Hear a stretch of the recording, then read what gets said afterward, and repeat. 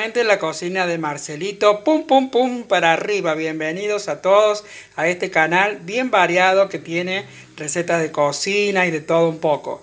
Aquí estamos esta vez con los ingredientes ya preparados para introducirlos en la olla.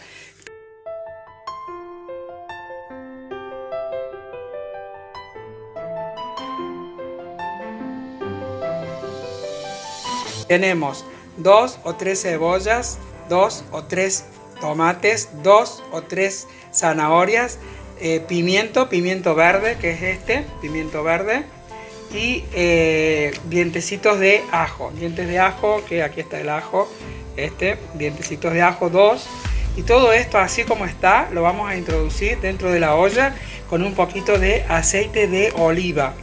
Y después les cuento los ingredientes. Pum, pum, pum, para arriba. Y después te cuento los condimentos. Dije ingredientes antes. Después te cuento los condimentos. y aquí lo introducimos dentro de la olla. Siempre como hace el aceitito caliente y esperamos a que se vayan cocinando. Muy bien, estos son los condimentos. Ahí tenemos sal. Al centro pimentón, pimentón y al costado la preparación que siempre hago que lleva orégano, ají molido, pimienta y un poquito de estragón. Estragón, sí, yo le pongo siempre porque me encanta el gustito que le da a las comidas. También puede llevar un poquito de comino, pero a mí no me gusta, entonces no le puse. Ahí estamos, pum pum pum para arriba. Estamos cocinando, no sé si con el humo se ve, pero ahí está todo, ya le agregamos los condimentos.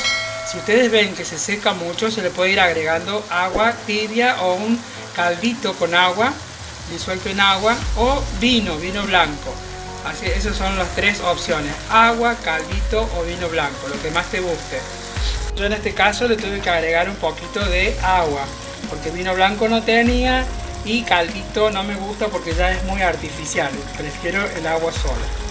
Cocinamos por unos 20-25 minutos aproximadamente, temperatura media. Pum, pum, pum para arriba. Continuamos, continuamos.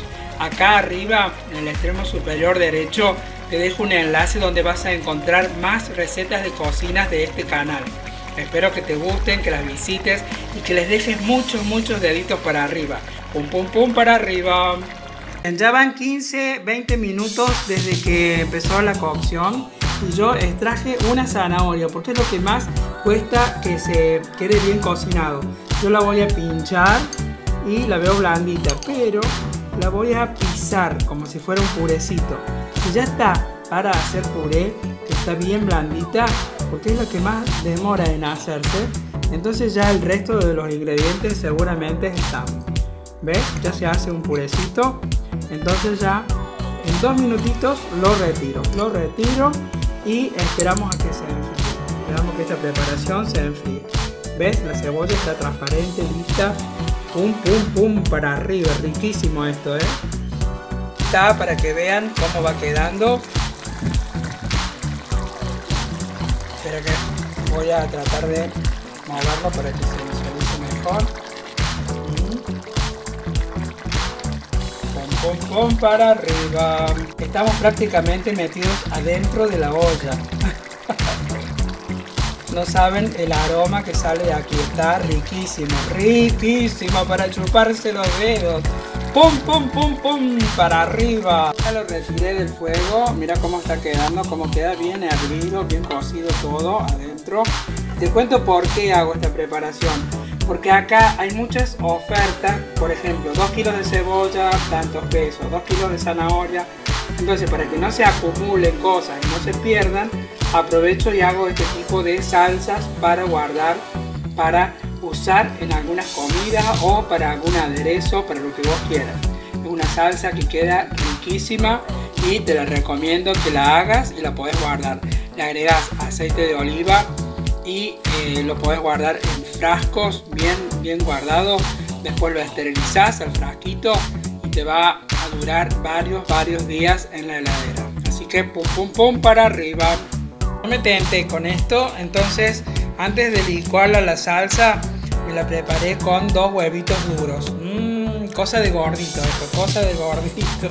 Ahí estamos, pum, pum, pum para arriba. Estoy viendo a mi querida compañera, creadora, Molly's Channel. Molly's Channel está aquí eh, con, conmigo. Este es su canal este, para que la sigan. Molly's Channel. Ahí está en directo, siempre lo seguimos. Ahí me está agradeciendo a mí. Pero em, es mutuo, es un agradecimiento. Pero este ha sido una gran Ahí estamos, así que los que no estén con ella, para que la, sigan, muchas gracias Isabela recetas, familia. La huertita So.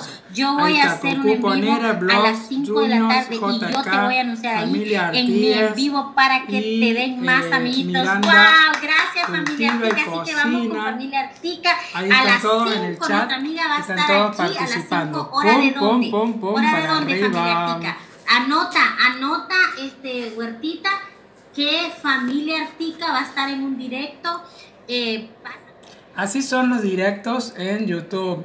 Así son los directos que entramos, participamos, nos acompañamos, nos hacemos barra, nos hacemos hinchadas y bueno, mientras vamos cocinando, vamos haciendo otras cosas, vamos apoyando a los amigos. Muchísimas gracias ahí, Molly Channel, que siempre está conmigo. Abajo en la descripción está para que ustedes la sigan, siempre lo pongo en todos mis videos, está Molly Channel. Pum, pum, pum para arriba. Y aquí tenemos ya nuestra salsa lista, ya la licuamos. Miren la textura que queda, miren. Y el gusto riquísimo. La podemos usar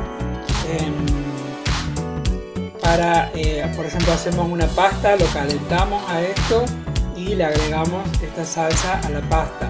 O también la podemos usar para eh, algún sándwich, algún aderezo como, como un aderezo de un sándwich, por ejemplo. Es muy, muy, muy rica y eh, también lo podemos usar como salsa boloñesa. en realidad, así es como se hace la salsa boloñesa. Salsa boloñesa. Y la conservamos en un frasquito. Si la queremos guardar por más tiempo, también podemos esterilizar el frasco en el horno de la cocina y lo el horno caliente 20-30 minutos. Después le ponemos la salsa y lo tapamos herméticamente y eso va a durar incluso hasta un año puede durar con las medidas de higiene correspondientes. Y también si lo vamos a seguir utilizando ahora podemos poner aquí en la hasta la base un poquito de aceite de oliva para conservar, lo tapamos y lo guardamos en la heladera y también nos va a durar por una o dos semanas. Así que háganla, se la recomiendo, es riquísima. Pum, pum, pum, pum para arriba. Para que vean los usos que se puede dar a esta salsa. Yo había dicho boloñesa, pero me equivoqué. Es salsa eh, pomarola, salsa pomarola. O sea que vamos a hacer unos, tallarines, unos fideitos bien herviditos y lo vamos a decorar o lo vamos a acompañar con esta salsa que está riquísima. Le gratinamos un poquito de queso arriba y queda pum pum pum para arriba. Mira, mira lo que es esto. Está para chuparse los dedos. Para quedar bien. Y en dos segundos, en dos segundos. La tenés en la heladera preparada, la sacas la pones y mira, y encima me sobró una cantidad. Así que ahí estamos. Pum, pum, pum para arriba. Te invito a unirte a este canal. Abajo donde dice unirse es una nueva opción que te ofrece este canal para ampliar tus beneficios y participación en este humilde canal de Marcelo Albornoz, Palabras que Sanan. En el extremo superior derecho te dejo una serie de videos relacionados con este tema que te pueden ayudar.